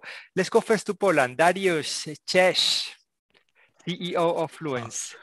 Hi, hi, Jose. Thank you very much. So yes, I was very excited to to see this uh, recent slides from EMBL because I see you like compact, you like small, and so do we. So uh, I just I just show you a couple of slides uh, of what what we have. So uh, we are a laser company from Poland very unique thing we have. We we like doing all fiber lasers and we like doing them small. So we have this perfect solution for multi-photon microscopy. Uh, the laser is called halite so it is very small uh, one box solution all electronics integrated inside uh, of, a, of a very compact construction. And the most beautiful, beautiful thing about Halite is that it is a monolithic OPM fiber laser. So it's very robust and very, uh, very reliable laser. Um, and of course, uh, this is only one thing because something we do very special as well is that we operate this laser at lower repetition rate of 20 megahertz. Many people, they are scared hearing about 20 megahertz, but this is why we are here showing you the slides to, to show you that this is, brings actually some advantage. So you can see here on this slide, comparison between 80 megahertz titanium sapphire laser and 20 megahertz uh, halite laser. And what, what you can see straight away that having the same average power and the different rep rates, you can obtain much better results because you get four times higher energy per pulse having the same average power right? So uh, so uh, we, we did this test like in many uh, well for different measurements uh, all uh, it, it, it's all the same result that you get like better better um, better images. And if you want to uh, well learn more about the laser just visit our website or i will be also happy to to tell you more. So uh, thank you very much Alvaro, this is one of the ones to watch in Europe right now. This is 150 femtoseconds, as stable as it gets with 20 megahertz. But uh, before I, I, give you the floor, because I want to talk about a bit of FLIM and two photon, I want you to meet my friends from Light Conversion. Lucas Contenis, good afternoon. Acho for being here. Good afternoon again. So let me let me share my screen. I have a couple of slides to show as well. Should be good now. Yes. Yeah. So um, so light conversion. Yes, uh, we we make uh, lasers, OPAs, OPOs. Um, also a very big uh, OPCPA system, so facility grade, large few cycle systems, and uh, um, also uh, transient uh, absorption spectrometers, which I guess is not the topic today, which is a little bit shame because I really like that. But uh, so we also make um, um, lasers that are going to be really of interest to, to this uh, microscopy topic here. So hearing what everybody else says, I was about to say something like small and, and small footprint and compact, but I guess this is really not the case uh, compared to, to other systems. So let's say we are going into a, a different direction. Uh, so very high performance, or let's say the cutting edge uh, parameter space rather than, than being very compact. So uh, two systems I really want to show you today uh, are the um, is the Cronus OPO, uh, which is a three-channel simultaneous output uh, solid-state OPO, and then a Cronus 3P, uh, which is a even lower repetition rate, actually, to what was mentioned, a two megahertz or up to two megahertz OPA that works in the shortwave infrared, so 1.3 to 1.7 microns. And um, so really this, the, the idea here or, or the, the, the, split here is that the OPO is, is good for fast imaging. Um, and because you have, uh, so it, it's, it works at a traditional uh, 80 megahertz repetition rate. So get your 160 femtoseconds, three outputs. And because they're optically synchronized, you can use the multiple beams either for uh, multiple fluorescence excitations or for coherent Raman interactions because you have essentially three lasers in one box. So really that's sort of one side of the story. Now, I guess uh, um, um, if you, uh, so for, for uh, applications that uh, are more interested in uh, deep imaging rather than fast imaging, uh, you need lower repetition rates, as was just shown, and you also need to move into the infrared so that you could penetrate deeper into scattering tissues. I was hearing that that was also a, a, problem that, that people are facing. So for, for that, you need a, um, a, a Cronus 3P, which is uh, um, which is uh, covers the biolog biological transparency windows at 1.3 and 1.7 microns. Uh, the pulse duration can go down to 50 femtoseconds, and uh, you can get micro up to microjoule, microjoule level pulses with, with the system. So um, compare everything uh, combined together, you can get excitations, uh, ex good nonlinear excitation down to millimeter and beyond. So, Lucas, and I, yeah. I want to sorry for this, but we need That's to okay. we need to get the, the, the the feeling from Alvaro. Alvaro, one more thing. You're looking for even shorter pulses, 20, 40 femtoseconds. Oliver from Valo Innovation also in the room. Oliver, complete the story from from Fluence and light conversion here. Yeah, hi together. Um, so I, I, have not prepared a slide, um, but uh, Valo Innovations is, is, doing very short pulse fiber lasers uh, with down to 30 femtoseconds uh, and with integrated dispersion compensation modules. And I think uh, these very short parts can increase your two photon efficiency, uh, yeah, to very good values. And um, so if you're interested in, in having more information or just to talk about these very short pulse uh, lasers, um, yeah, we can come into discussion. As you can see, Alvaro, we are all super interested at uh, starting collaboration with ultra-fast lasers. You talk a little bit about the, the two-photon microscopy, you talk a little bit about FLIM, you maybe talk a little bit about three photon. Can you tell us, uh, can you give us a bit of meat on the roadmap of EMBL on, on these technologies? Sure, that that's a bit of a loaded question. Um, so I cannot tell you all the what, what's in the future because uh, so we, I guess we as humans we are terrible at predicting what what's to come. But I can tell you what I'm doing, um, and so where I want to take at least my facility. So um, we do not have in this very moment a two photon system, uh, nor a three photon, nor FLIM, right? And so I'm I'm really essentially looking for what's out there you know how can we build the best possible system at the moment? How can we drive the technology forward? How can we integrate what's uh, sort of the possible innovations um, uh, that exist right? So in terms of the uh, lasers that i heard uh, the immediate question what I, that i would have is uh, do i have a sync pulse out right? Could i use that um, to uh, um, as a synchronizer for flim uh, maybe that I, I couple that with a with an another detector. Um, you know. Um, who, who can answer that? Is there room for cooperation to use the femtosecond laser for synchronization of FLIM? I'm looking at Darius, I'm looking at Oliver, I'm looking at Lucas, I'm even looking at Toptica as well on this because I know, uh, do you know my friend from Toptica? Sita, good afternoon. Hi, good afternoon. I know there's an experiment on that from a Toptica paper, actually. Yes, we are. Um, we are in FLIM. That's not my specialty, but uh, we for sure um, provide the solution um, that he's asking of to synchronize the pulses. So we, we're kind of the specialist in synchronizing pulses. You can kind of choose any duration between pulses, and yeah, it works quite good. Also, also I have lithium lasers in the room that are also quite experts on that. Do you want to say hello, Alessandro? Hello. Hello. Uh, yes, of course. Uh, in terms of synchronization of pulses, uh, if the matter is to to to synchronize the, the, the repetition rate of the laser, a very very fine tuning of the repetition rate of the laser, we can do that.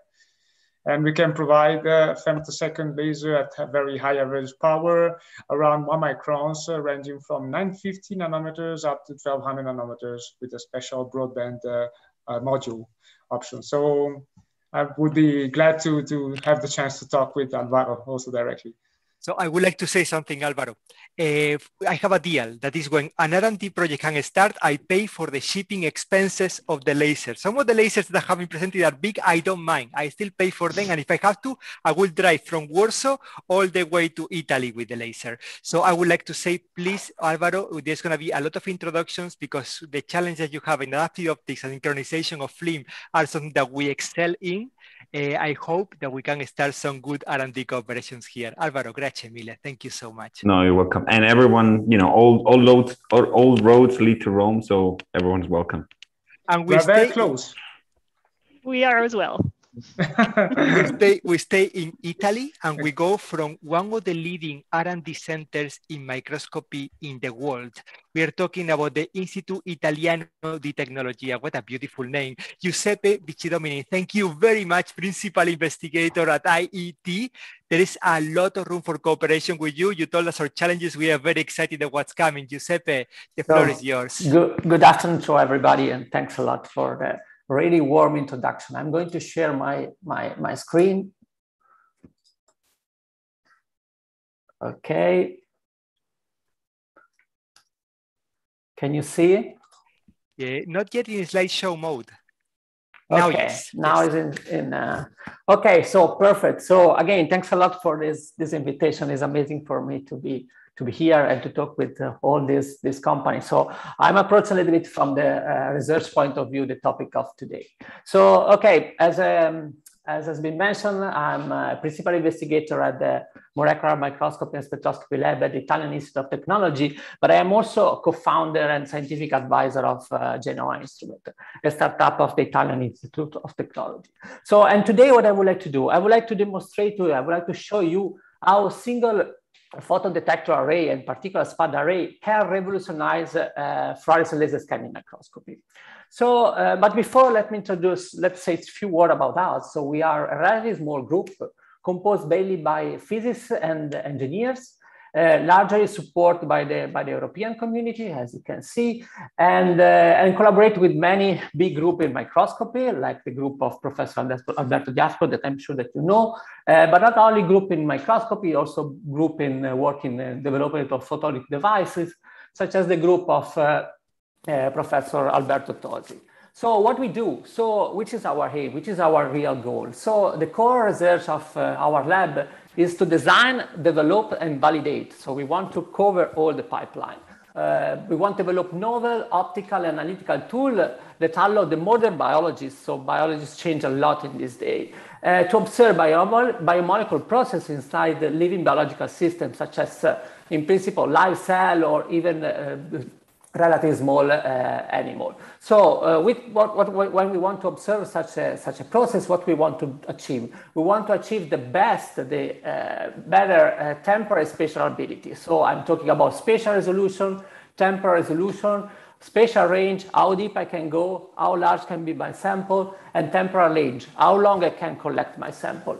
And even more what I want to do, I want to have a lot of data. I want to have a, a massive information content by my measurement. So in particular, as a group, we strongly believe that a microscopy does not provide us only pretty nice images, but provide real data. So we need data. I'm happy that Alvaro introduced about genomics and all this, the, the revolution that is going on. These are data. Um, so um, and today, what I would like to do, I would like to take this minute to show you uh, one specific task, one specific topic. So how we try to achieve this goal that I told you as, uh, that we have as a lab in the context of uh, fluorescent laser scanning microscopy. So this project came out from the fact that we, we, we believe that uh, in, a, in any laser scanning microscope, in any conventional and modern laser scanning microscope, there is a fundamental limitation. So in particular that during the uh, image formation process, there is a lot of, a lot of information are lost. So let me try to convince you about this, this problem. So and uh, in a nutshell, I would like to describe really uh, fast how it works uh, a laser scanning microscope, a fluorescent laser scanning microscope. So basically what you do, you take a laser, the excitation laser, and you use the objective lens to focus on your uh, laser into your sample, generating a typically diffraction limited spot that we call the probing region. All the molecule, the fluorescent molecule emit inside this probing region emit light that is collected by, back by the objective lens and thanks to a tube lens is focused on the image plane. Okay, so you have an image here. But then what happened? Typically, I use a photomultiplier or anyway a single element detector that integrate all this light across space and also across time, because during the pixel dwell time, I integrated light and I obtain a single intensity value. I have an image that changes in time, but I obtain a single intensity value. Then what I do, I scan my probe, uh, my probing region across the sample uh, to obtain one value for each position, and then I build up my images. But it's clear that since I'm integrating both across time and across space, all the photons that, I, that are coming from my, my probing region, I'm losing information. Okay, so for me, for us, this was clear. But the problem was that there was no device able to uh, remove this problem. So to do that, what we do, we start collaborating with the Polytechnic of Milan that are really good in developing a detector array and in particular single photon detector array. And we develop what in our opinion was the first detect single photon detector array able to remove this problem, able to give access to this new spatial and temporal information without losing any other property of our uh, scanning microscope or our confocal microscope, our two photon excitation microscope, our STED microscope. So when we got this, uh, so I'm, I would not want to waste time too much into the performance of this detector because this is growing so much and so fast, but two aspects are really important. First, that's a very small detector array. It's only five by five uh, pixel. Really small, but big enough to sampling the probe region with the Nyquist criteria but small enough to transfer the data photon by photon to implement an asynchronous readout uh, system. So I collect photon one, one, by one. That's very important. So we are moving into the area of single photon microscopy. So the other very important property is that I can collect this photon with a temporal stamp and with a precision, in this case, that's an old uh, slide with an old uh, SPAD array, single photon avalanche diode array, uh, with a precision of 200 picoseconds. So well below many photophysical uh, phenomena of my probe. So for example, I can measure the, the fluorescent lifetime like Alvaro before was, was mentioned. So now that I have this tool, this new toy for us, because we are a, a lab that develop a microscopy technique, what we do, we introduce in our laser scanning microscope, and we immediately realize that it can be beneficial for all the characteristic, all the performance of our system. For a question of time, I will just explore, I will just explain two of them. But since we talk about, uh, it is possible to use for adaptive optics as a sort of wavefront sensor. It is possible to, to use with two photon excitation microscopy. It is possible to, to use to investigate dynamics, fast dynamic by fluorescence correlation spectroscopy. But let me focus on only two, only two um, uh, two projects. So the first project used the, the, the, this new special uh, information that can be achieved only with our uh, single photon detector array to build up uh, some sub-diffraction spatial resolution images, some super resolved images. So when we have this detector inside the microscope, what we have? We can have an image for each position of the probing uh, region, for each position of my laser inside my sample. Or alternative, we can simply see that after the scanning, we get access to 25 images of the same sample at the same time, but from a slightly different point of view. It's a sort of tomographic uh, view of my sample. When I have these 25 images, I can apply some reconstruction, really easy reconstruction, also computationally very, very low, and without any, uh, any uh, let's say, input from the user, I can build up a super resolved image, a sub-diffraction resolved image. Here is just an example of four different subcellular structure of my sample. So tubulin, actin, chromatin, and nuclear pore complex. As you can see, the resolution uh, increased drastically. But very important, there is no difference from the user when he sits in front of a conventional microscope to a confocal microscope, or where he sits in front of what we call image scanning microscope. So the second Oh, yeah, that's another example because we, you talk a lot about two photon excitation. That clearly can be combined with two photon excitation. And that's the answer that you get in resolution when you compare with, for example, non-scanning uh, non system. That uh, unfortunately is pretty good for some aspect, but is really poor in resolution. So the second project that I want to talk to you about is exploring the second, the, the, both the spatial ability of the detector to tag this photon in a particular position of my uh, image plane, but also the, uh, the temporal uh, aspect of this detector. So to, the ability to to collect this photon with this very high uh, temporal resolution.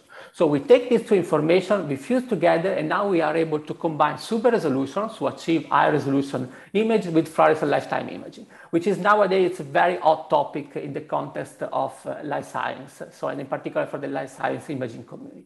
So, but there was a big problem, there was a big challenge at the time when we approached this project, is the fact that uh, doesn't exist a data, acquisition system able to collect such kind of data because every detector, every element of my detector array is firing a digital signal every time that the photon arrives to the detector and I have to take this signal put a, a sort of, of temporal tag with a very high precision. So at that time doesn't exist such a card. So we decided to develop by ourselves and we take advantage of the FPGA technology, another big revolution in, in, our, in our field.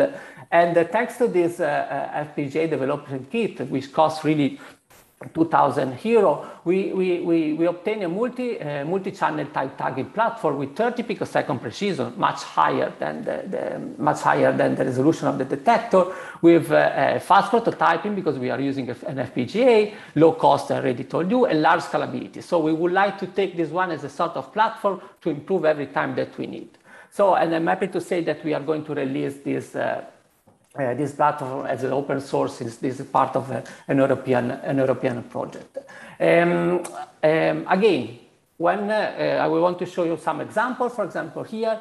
Um, that's an example in which we use our new platform for functional imaging. So, and in particular, what we do, we make imaging of a live cell labeled with a polarity sensitivity membrane probe, was fluorescent lifetime is an indicator of the order of the lipid membrane.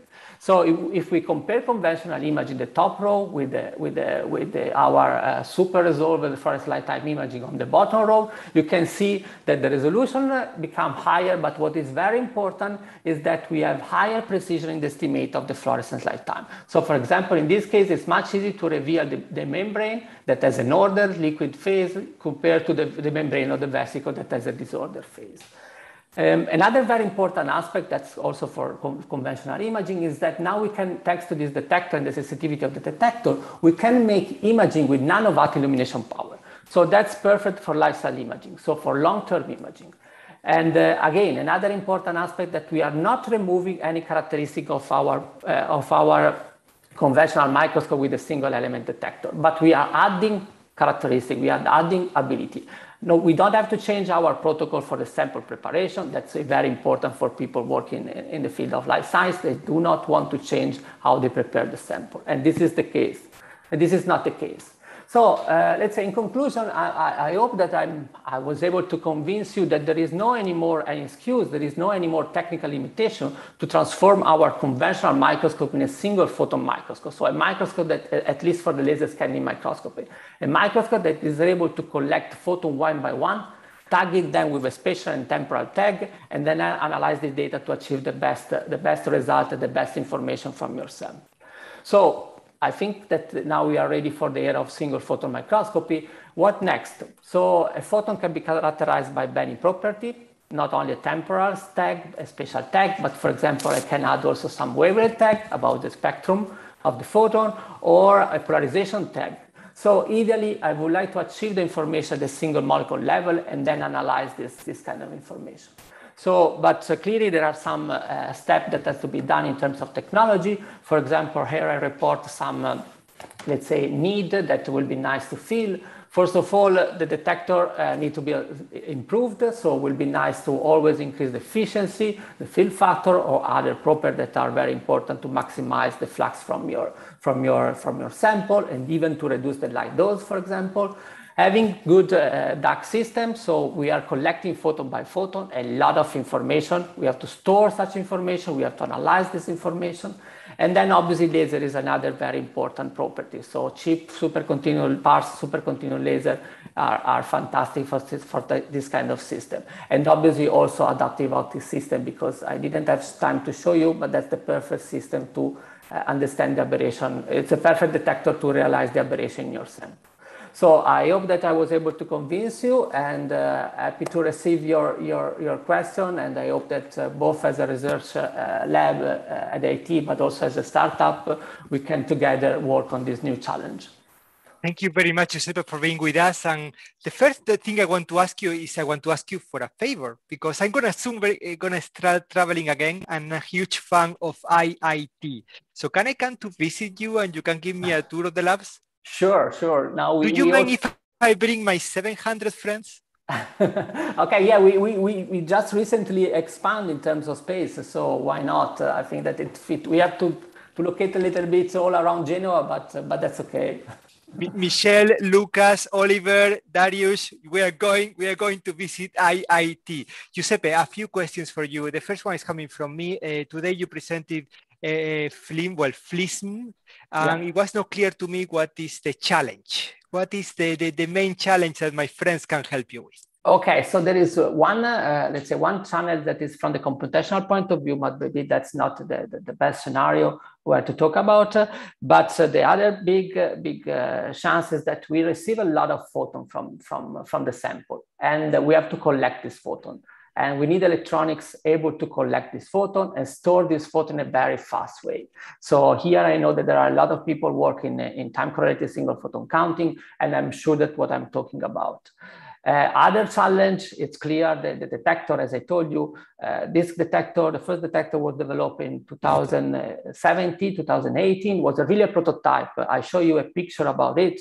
And, uh, but the, the, route, the, the path, uh, the path, the path to, to a real product uh, still there is still something to do. I, am pretty sure that uh, uh, can be much better efficiency, uh, lower dark noise, and so on. So we are working this direction, but I'm sure that uh, uh, help from other people can be fundamental. The second question is coming from our new epic BFF, Alvaro from EMBL. What's on your mind?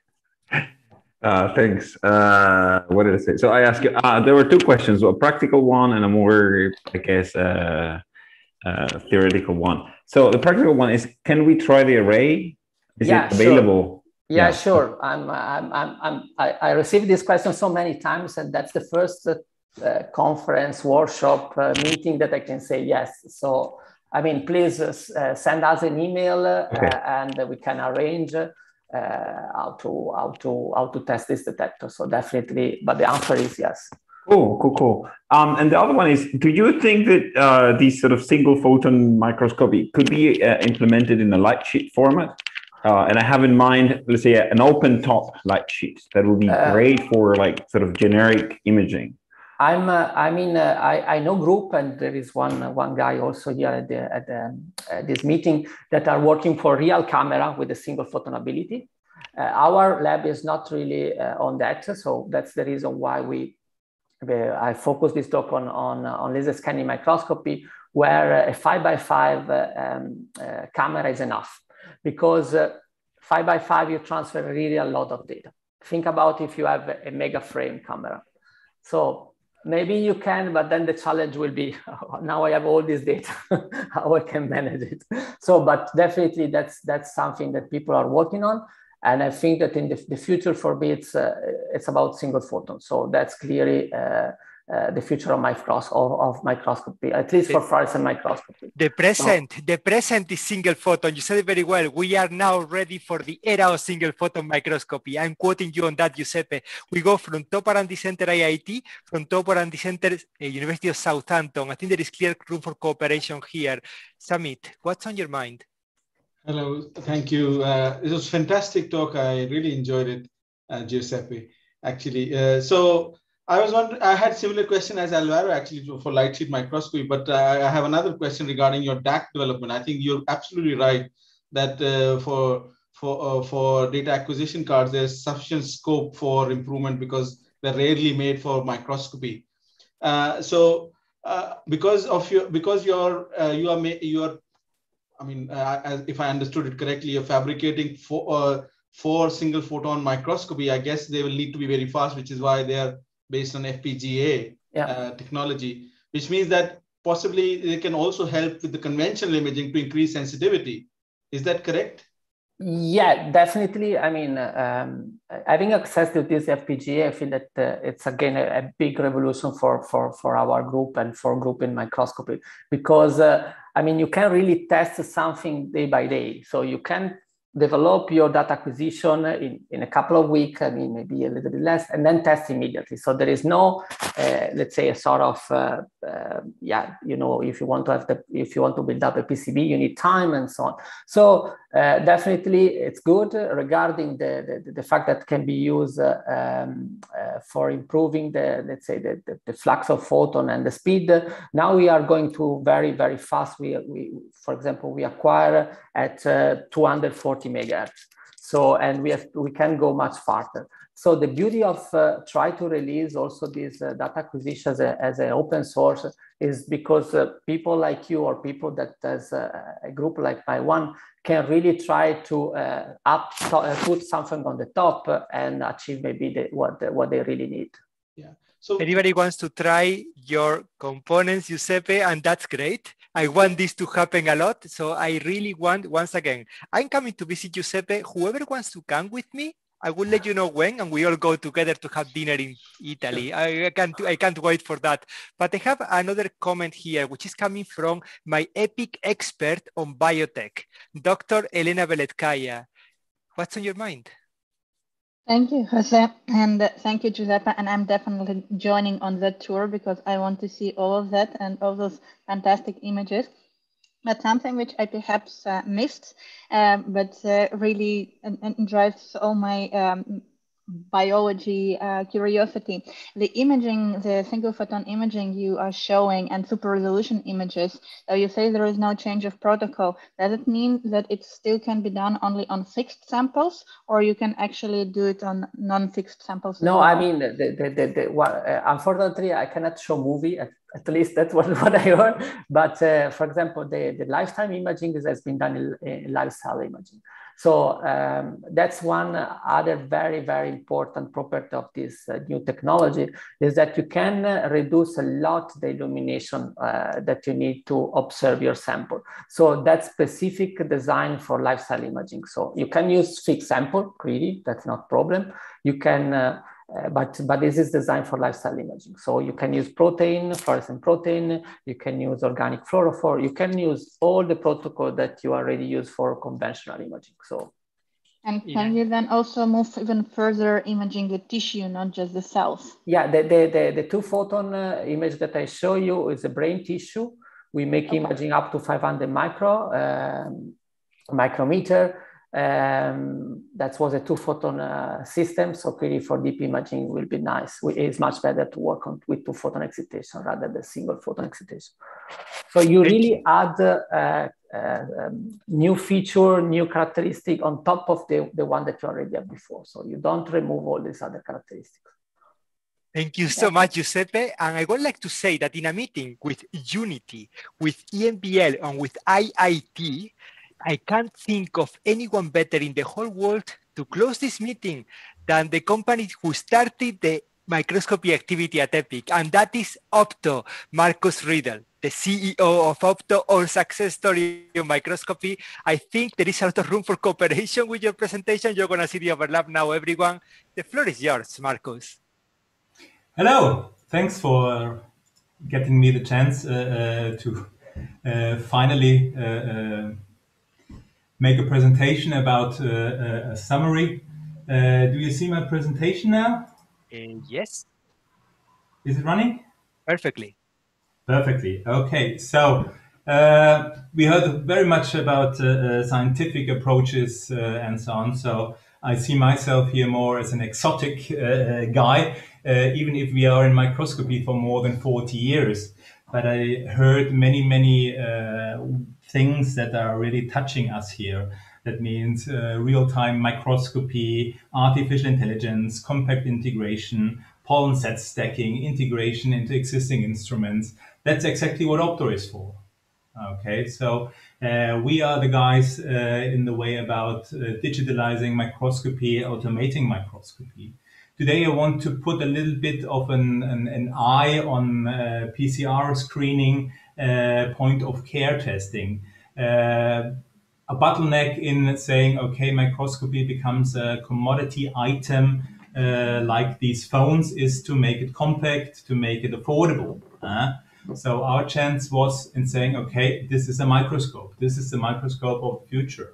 Okay, so uh, it's not by by accident that uh, they both uh, look quite similar. So the idea is to have uh, machine builders and system integrators who are doing these screening machines and serve them with imaging modules. Imaging modules is everything about imaging. So we are the guys making the bridge between microscopy and what we call machine vision. What is a typical machine vision? Machine vision is more about speed. It's more about uh, interpreting um, microscopes also as sensors. And that's the target what we are doing. So all these technologies that we have heard is so to say on our roadmap over the next years to integrate it based on our platform that we developed over the last six, uh, even 10 years uh, to bring it to the market as a sensor. But you can uh, imagine if you want to position yourself, you have the Leica Zeiss Nikon Olympus on the one side, you have Keyence on the other side, and companies like SICK uh, who are making sensors, and we want to see ourselves in the middle in concentrating microscopy as sensors, and then on the other hand, really doing software, doing artificial intelligence, because we are believing that microscopy uh, and about the data that we are creating with these uh, uh, image uh, sensors principally is enabling us to analyze, to classify images, to classify uh, these informations that we're getting out of these microscopes to get better results, to really improve what we at that moment call resolution or we call information. Uh, all the day about uh, predictive diagnostics, uh, getting more information. So we are saying, okay, we are taking care about image data management. so from the image acquisition to the processing uh, to the really uh, detecting and, and, and, and, analyzing. So speed, high throughput, that's, that's, that's what we are doing. And uh, one thing is every time when you are thinking about speed, uh, one determined uh, uh, aspect is always moving parts. Uh, so when we are building into machineries, when we're calling about sensors, we don't want to move parts. We don't want to have a focus. We don't want to have, uh, so to say, changing filter wheels, uh, changing conditions. Uh, big data uh, data analysis is always based on really reliability on on images and when we call about uh, fluorescence so our thinking and that means uh, the next generation imaging modules that will come on the market for example is all about targeting of multifluorescence uh, so this will be sort of say uh, a product that incubates two light sources the filters that you can change two fluorescences in milliseconds to an affordable price. An affordable price, I mean under 10K in a, in a, in a list pricing. Uh, so based on Geek E, 5 megapixel sensors, so the real uh, new technology. So uh, at that moment, we are very much in touch with all these microfluidic uh, electrophoresis applications that are popping up, that coming out of this lab environment on the left side and want to automate.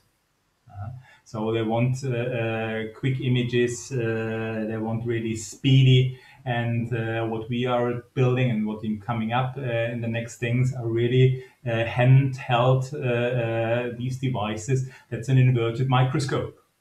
So you have a condenser inside, uh, you have a microscope on the one side, but doing one application. But uh, if you buy a, a, big size microscope, you can afford of about 10 or 15 of these microscopes. Uh -huh. So think about that.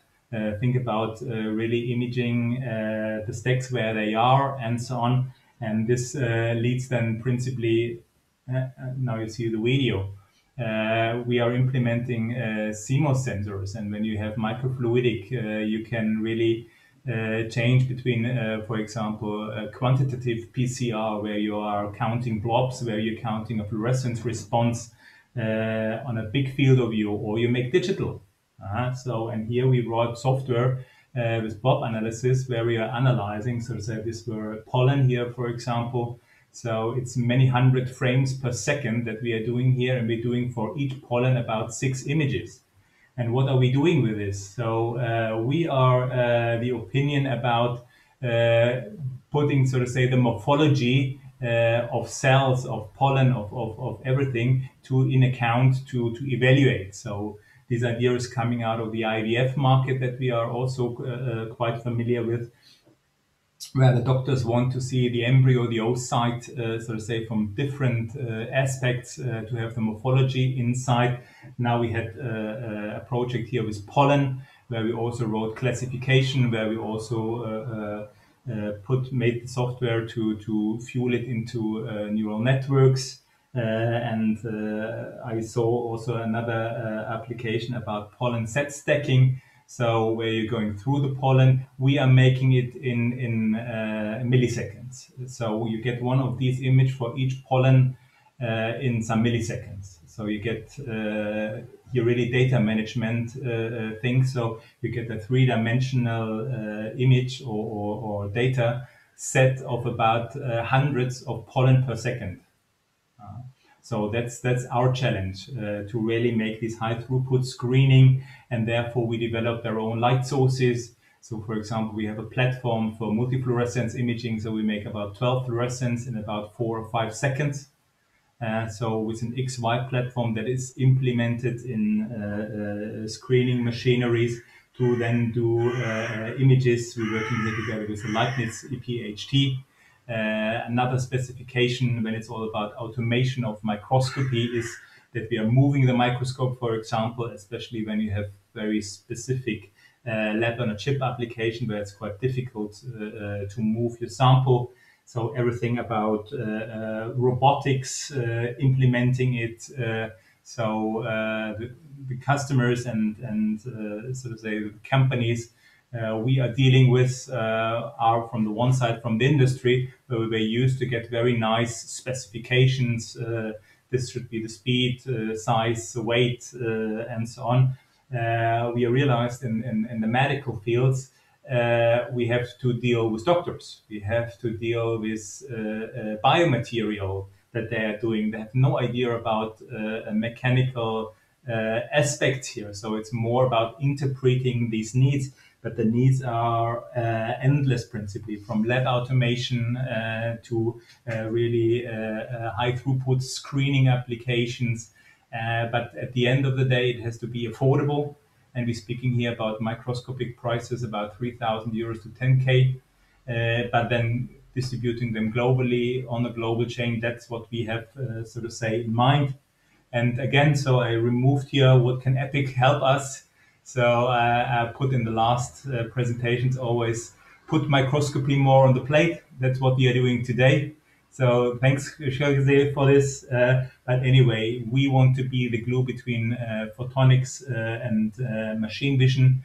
Every aspect about integrating microscopy into machinery, automate machinery, automate microscopy, as well as image analysis on software. We have a huge software department coming out of the machine vision industry with specific know-how about microscopy. That's what we want to do. And uh, yeah, Jose, help us uh, uh, with this uh, to be recognized as this what we want to be and do what you do. You do a great job. Thanks. Thank you so much, Marcus, for this fantastic presentation and even more for all the fantastic job that you're doing. So I think the message to Jose is now conveyed very well. So we, he will make sure, and we as a whole team will make sure to make it very well known to not only all the Epic network, but beyond that.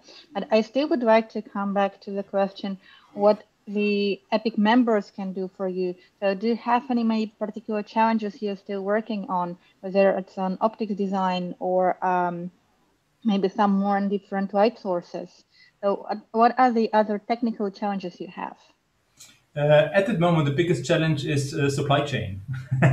so uh, we are not okay. getting components. Uh, so it's a big, big uh, difficulty to get uh, sensors on the market, to get electronic components. And if you want to range up, scale up, like we want to do in hundreds of thousands, that's a big challenge. A big challenge what we are fronting is, and that may be where, where Epic really can help, is uh, the understanding about uh, the needs of microscopy in the medical field. Uh, so uh, they are used to to uh, this really uh, big multiphoton or, or, single photon microscopy, fluorescence, and so on. And then they're coming to me and they're saying, "Yeah, now I want it five times cheaper, and I want it exactly this size, everything inside." So that's not realistic. Okay, so our challenge is is really uh, to have really unrealistic uh, uh, demands when it's about automation, when it's about screening, and even this artificial intelligence uh, to to to to bring it into uh, the mindset of the people of the customers is, is really a challenge at that moment. Okay, well, that is a challenge which we as a whole Epic community here can try to tackle. But uh, before we go that way, let's see what other questions are there. So we have a question from Alvaro from EMBL. Alvaro, well, everybody knows you by now. I don't need to say where you're from, but um, nevertheless. Thanks. What do you uh, want to ask? Yeah, uh, thank you, Marcus. Uh, that was quite a nice talk. Um, can you integrate fluidics as well? So if, uh, by any chance, I want to, let's say, uh, automate also some steps of sample preparation or sample processing. Could those be sort of integrated?